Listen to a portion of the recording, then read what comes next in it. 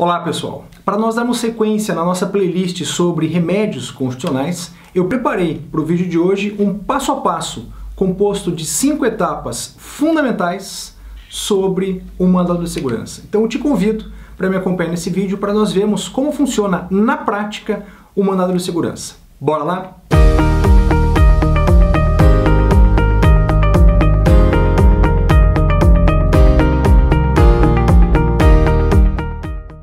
Para nós iniciarmos com o pé direito essa pequena jornada de apenas cinco etapas fundamentais sobre o mandado de segurança na prática, é importante que nós comecemos com o pé direito.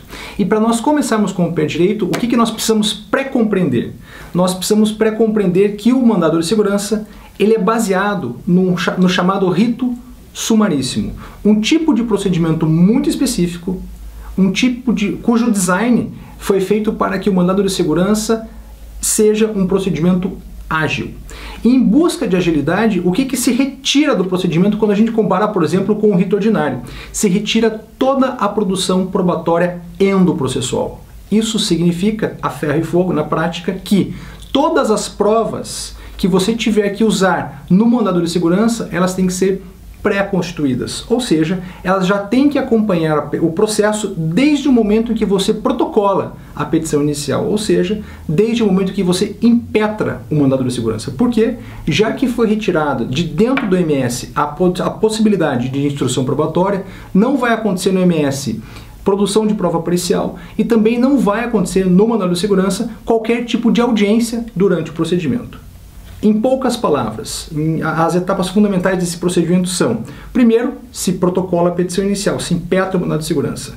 Um segundo momento, o juiz, a juíza, vai analisar a petição inicial e ver se há ou não o pedido de ordem liminar. Havendo o pedido de ordem liminar, a, o magistrado, a magistrada vai analisar esse pedido concedendo ou não a ordem liminar.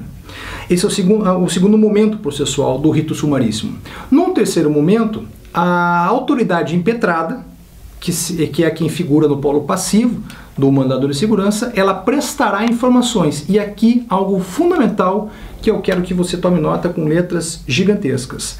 A autoridade impetrada ou autoridade coautora não contesta. Não existe a previsão de contestação por parte da autoridade coautora no mandado de segurança. O que se espera da autoridade impetrada, da autoridade, autoridade coautora, é que ela preste informações a respeito de um ato que está sendo apontado pela impetrante como um ato coator. Então, a autoridade impetrada presta informações e não apresenta contestação.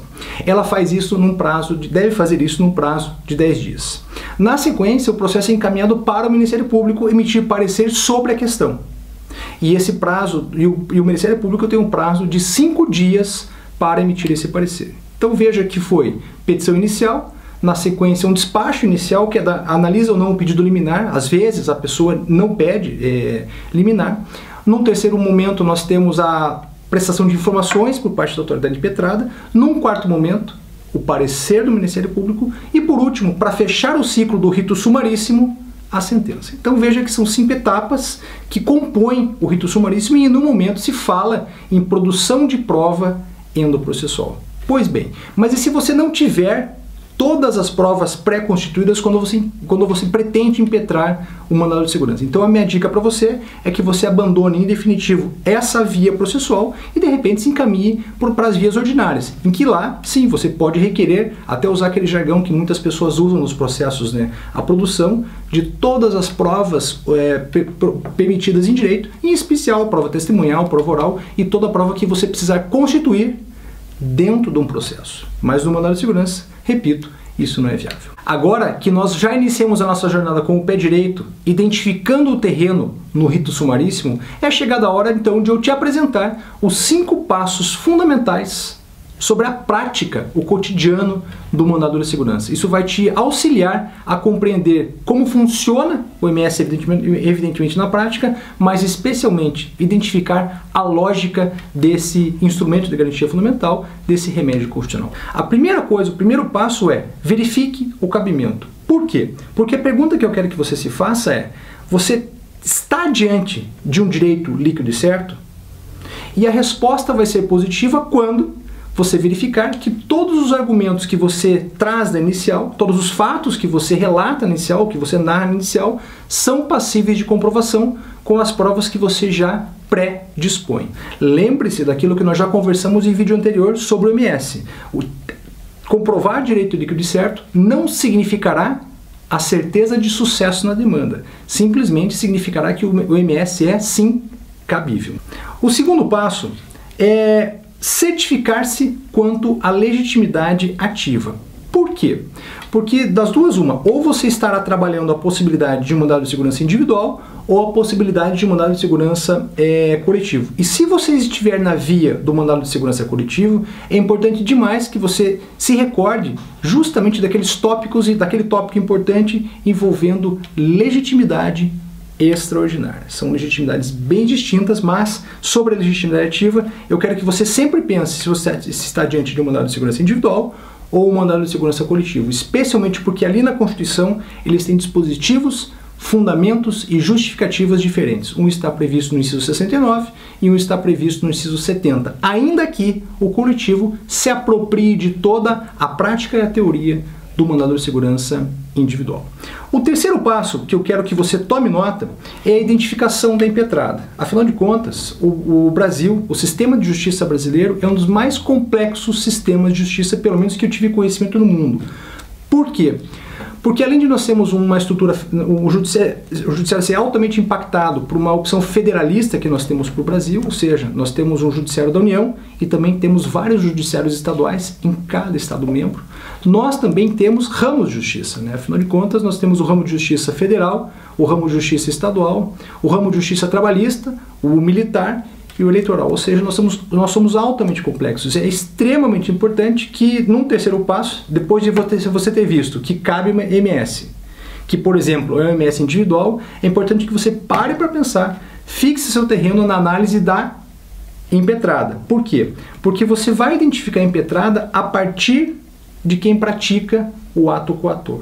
Sempre lembrando que o mandado de segurança ele é vocacionado a controlar a legalidade ou a constitucionalidade de um ato praticado por alguém que detém parcela do poder público, que está para ser praticado, ou seja, o mandado de segurança preventivo, ou já foi praticado, ou seja, o mandado de segurança repressivo. Então você precisa ter um ato contra o qual impetrar o mandado de segurança. Mas você também precisa, e esse aqui é o passo que nós estamos comentando, você precisa identificar quem é a autoridade responsável pela prática desse ato, que já foi praticado ou que será praticado. Por quê? Porque a partir da identificação da autoridade impetrada é que nós daremos o quarto passo. E o quarto passo é o seguinte: identifique a competência. De todos os passos que nós estamos analisando, o mais complexo, o mais difícil, o que demandará mais atenção de sua parte é o passo número 4, esse que nós estamos conversando exatamente agora. Por quê? Porque ao momento é chegada a hora de identificar a competência. Então, toda aquela complexidade que eu falei há pouco sobre identificação, sobre o nosso sistema de justiça, ela vai se evidenciar nesse momento, porque você já identificou o ato, já identificou a autoridade impetrada e agora é chegada a hora de identificar a competência. E para identificar a competência, o que, que eu te sugiro? Que você analise, tome nota disso, analise os artigos 109 e 110 da Constituição. Ali você vai identificar as possibilidades de competência da Justiça Federal de primeira e segunda instância. Você também deve explorar o artigo 114 da Constituição, que vai trabalhar, por exemplo, a competência da Justiça do Trabalho. E, evidentemente, você precisa analisar as competências dos tribunais superiores, como, por exemplo, o STJ, no artigo 105 da Constituição, ou o próprio Supremo Tribunal Federal, no artigo 102 da Constituição.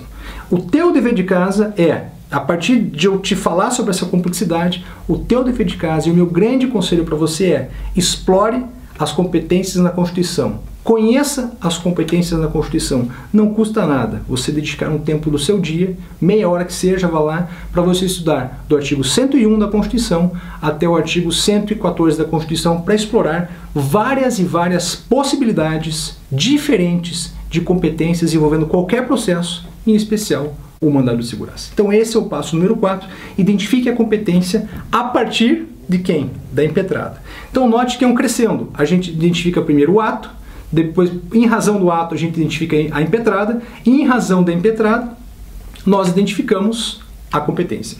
E o quinto e último passo é basicamente a verificação das provas disponíveis. Esse quinto passo, no meu modo de ver, é mais um lembrete. É mais um lembrete para que você, ao verificar as provas disponíveis, lembrar de anexar tudo com a inicial. Afinal de contas, se você não anexar tudo com a inicial, dificilmente você evidenciará o direito líquido certo e dificilmente, já no despacho inicial, a, o magistrado ou a magistrada vai acolher o seu pedido. Se você não juntar tudo com a inicial, é muito provável que já no início o, o, a, a, autoridade judicial já lhe diga que você não tem direito líquido certo e, portanto, extinguirá o processo denegando a segurança por ausência de direito líquido e certo. Tá joia?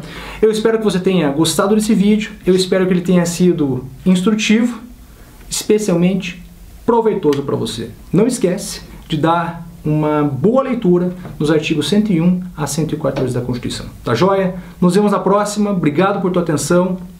Até breve.